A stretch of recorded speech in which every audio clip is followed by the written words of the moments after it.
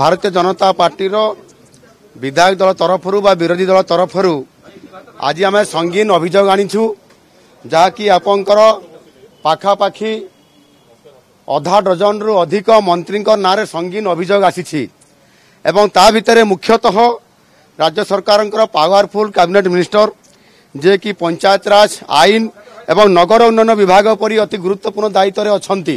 ଏ ଘଟଣା ଆଗରୁ ଘଟିଥିଲା ବିଶେଷ କରିକି ଯେଉଁ ପ୍ରଧାନମନ୍ତ୍ରୀ ଆବାସ ମହାଦୁର୍ନୀତି ଯେଉଁ ଘଟଣା ଘଟିଥିଲେ ଯେଉଁଥିରେ କି ମାନ୍ୟବର ମନ୍ତ୍ରୀ ଏବଂ ସେ ଅଞ୍ଚଳରେ ଯେଉଁ ଘଟଣା ଘଟିଥିଲା ଯେଉଁ ଡବଲ ମର୍ଡର କେସ୍ ଘଟଣା ଘଟିଥିଲା ବିଶେଷ କରିକି କୁଳମଣି ବାର- ବରାଳ ଏବଂ ଦିବ୍ୟ ସିଂହ ବରାଳ ତାଙ୍କୁ ଯେଉଁ ହତ୍ୟା କରାହେଇଥିଲା ଦିନ ବେଳେ ଏବଂ ସେଥିପାଇଁ ମାନ୍ୟବର ମନ୍ତ୍ରୀଙ୍କ ନାଁରେ ମଧ୍ୟ ଏତଲା ଦିଆହେଇଥିଲା।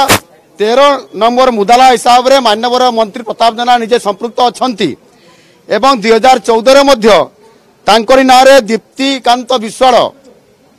ଦୀପ୍ତିକାନ୍ତ ବିଶ୍ୱାଳଙ୍କ ନାଁରେ ଏବଂ ତାହାର ସହିତ ଆପଣଙ୍କର ଦୁଇ ହଜାର ଅଠରରେ ବିକାଶ ଜେନା ହତ୍ୟାକାଣ୍ଡରେ ମଧ୍ୟ ସମ୍ପୃକ୍ତ ଅଛନ୍ତି ବୋଲି ଏ କଥା ଅନେକ ସମୟରେ ଗଣମାଧ୍ୟମରେ ବାହାରିଥିଲା ବିଧାନସଭାରେ ମଧ୍ୟ ଝଡ଼ ଉଠିଥିଲା।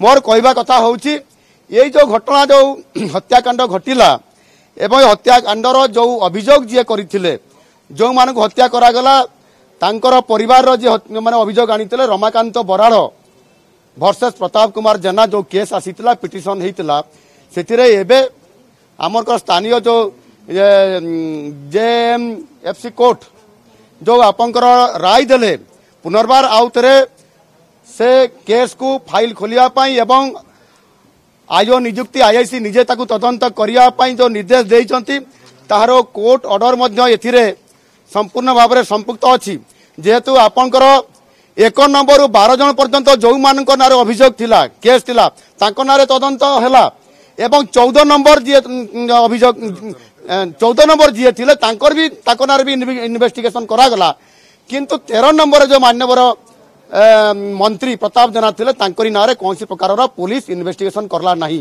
ଏବଂ ସେଥିପାଇଁ ଆପଣଙ୍କର ଯେଉଁ ଜେଏମ୍ଏଫ୍ସି କୋର୍ଟ ଯେଉଁ ଏବେ ପୁନର୍ବାର ଆଉ ଥରେ ରାୟ ଦେଇଛନ୍ତି ଏବଂ ଆଇଆଇସିଙ୍କୁ ପୁନର୍ବାର ତଦନ୍ତ କରିବା ପାଇଁ ଅର୍ଡର କରିଛନ୍ତି। ଆଇଆଇସି ସେଠିକାର ଥାନାର କେମିତି ତଦନ୍ତ କରିବେ?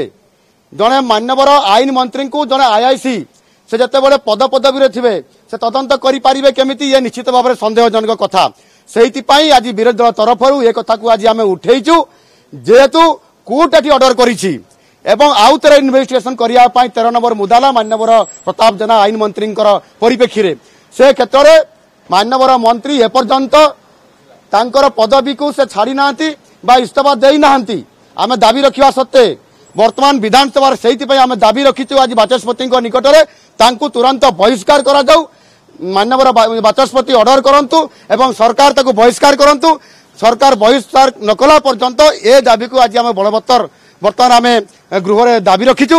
ଏବଂ ତାର ସହିତ ଅନ୍ୟାନ୍ୟ ମନ୍ତ୍ରୀ ଯେଉଁମାନେ କି ପରୀ ହତ୍ୟାକାଣ୍ଡ କେସ୍ରେ ଆପଣଙ୍କର ଏସିଏଫ୍ ହତ୍ୟାକାଣ୍ଡ ଘଟଣାରେ ଯେ ସମ୍ପୃକ୍ତ ଅଛନ୍ତି ଆମର ଫରେଷ୍ଟ ବିଭାଗର ମନ୍ତ୍ରୀ ଏ ସମସ୍ତଙ୍କ ବିଷୟରେ ମଧ୍ୟ ଏଥିରେ ସମ୍ପୂର୍ଣ୍ଣ ଭାବରେ ଆମେ ଦାବି ରଖିଛୁ। ଏହାରି ଉପରେ ଯେପର୍ଯ୍ୟନ୍ତ ମାନ୍ୟବର ମୁଖ୍ୟମନ୍ତ୍ରୀ ସ୍ପଷ୍ଟୀକରଣ ନ ଦେଇଛନ୍ତି ତାଙ୍କ ଉପରେ ବହିଷ୍କାରର ପଦକ୍ଷେପ ନ ନେଇଛନ୍ତି ସେ ପର୍ଯ୍ୟନ୍ତ ଆମେ ବର୍ତ୍ତମାନ ଏହାକୁ ଗୃହ ଭିତରେ ୱେଲ୍ ଭିତରେ ଯାଇକରି ବିକ୍ଷୋଭ ପ୍ରଦର୍ଶନ କରିବା ସହିତ ପରବର୍ତ୍ତୀ ପର୍ଯ୍ୟାୟରେ ମଧ୍ୟ ଆମେ ଦୃଢ଼ ଦାବି ଉପସ୍ଥାପନ କରିବୁ ବିଧାନସଭା ଭିତରେ ଏବଂ ବିଧାନସଭା ବାହାରେ।